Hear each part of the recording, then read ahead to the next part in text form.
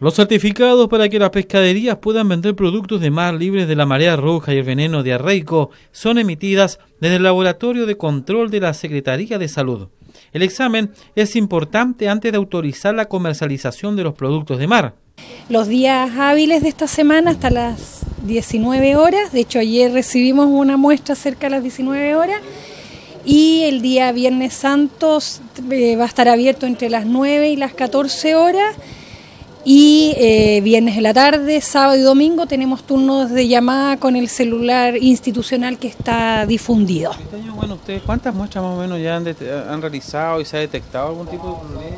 Bueno, este año eh, nosotros en, en, toxinas marinas ya vamos en el orden de más o menos unas, alrededor de unas 800 a 1000 muestras realizadas y de los problemas detectados este año que eh, eh, está emergiendo cada vez más es la presencia de la toxina diarreica en nuestra región.